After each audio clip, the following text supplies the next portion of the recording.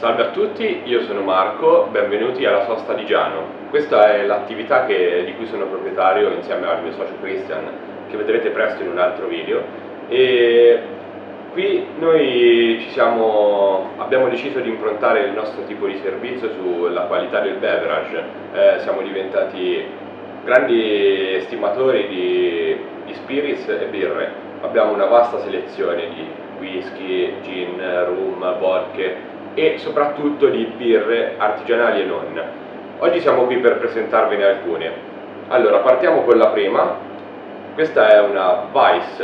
eh, una birra di stile tedesco, il suo nome è Kapuziner, leggermente meno famosa delle, delle sue competitor uh, tedesche che sono Erdinger, Franziskaner, sempre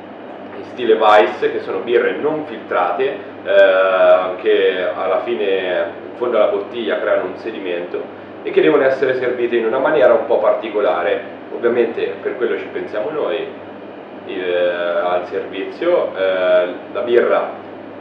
deve essere versata quasi nella sua interezza, lascia, stando attenti a lasciarne una piccola parte sul fondo da mescolare ben bene fino a creare una leggera schiuma che verrà poi adagiata su, sulla cima della birra eh, crea un effetto scenico veramente molto molto bello da vedere. E poi sono, questa è anche molto molto buona da bere, eh, molto leggera, bassa gradazione alcolica, io non sono un tipo a cui piacciono molto le, le birre con alta gradazione, preferisco magari bere, bere una con uh, meno gradi, però eh, così da permettermi di magari in seguito, se mi è piaciuta, prenderne sempre un'altra, così da, da rimanere all'interno dei, dei limiti. Eh, questa birra ha anche, vedrete, lo stile classico proprio tedesco a livello di, di forma, con eh, il classico eh, tappo a baionetta o non so come si chiama eh, di preciso, però molto caratteristica, proprio trasuda Germania da tutti i pori. La seconda birra che vi mostrerò è una birra italiana finalmente, eh, perché finalmente, perché negli ultimi tempi un sacco di micro birrifici italiani stanno facendo birre molto interessanti, anche qui a Perugia vicino a noi ne abbiamo una veramente molto buona, la birra Perugia. E questa qui viene sempre da non molto lontano, però cambiamo regione e andiamo nelle Marche, in provincia di Pesaro Urbino. Eh, questa birra viene prodotta dal birrificio Cervisia, eh, è una lager, il suo nome è Ciurma e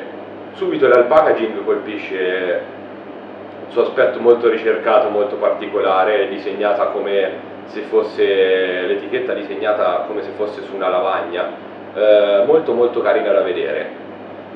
È una lager, quindi molto leggera, poco gassata, si beve molto molto bene, eh, più leggera della lager c'è solo la Pils eh, come tipologia di birra, quindi qui siamo quasi, a, quasi al limite, eh, proprio anche a livello di,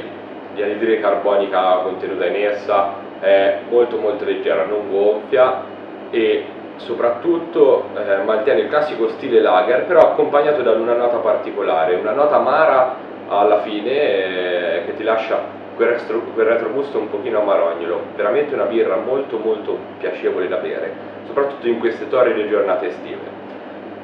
Ed ora ho lasciato il pezzo forte alla fine eh, questa è una delle mie birre preferite in assoluto, la Delirium Tremens, birra di stile belga, una strong beer, eh, fa, arriva a fare 8 gradi e mezzo, anche qui packaging molto particolare che è sempre una delle cose che più mi colpisce nelle birre, eh, già il nome tradisce un po' dove vogliono andare a parare, Delirium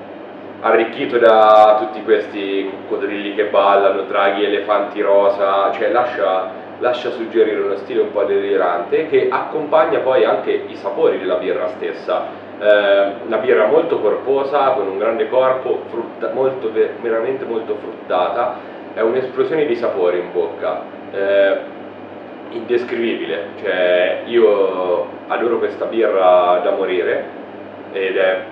veramente secondo me una delle migliori birre al mondo, cioè con questa andate sul sicuro. Eh, I loro produttori ne fanno anche un'altra, Delirium Nocturnus, eh, un pochino più scura, però sempre su questi toni qui. Vi consiglio veramente di provarla.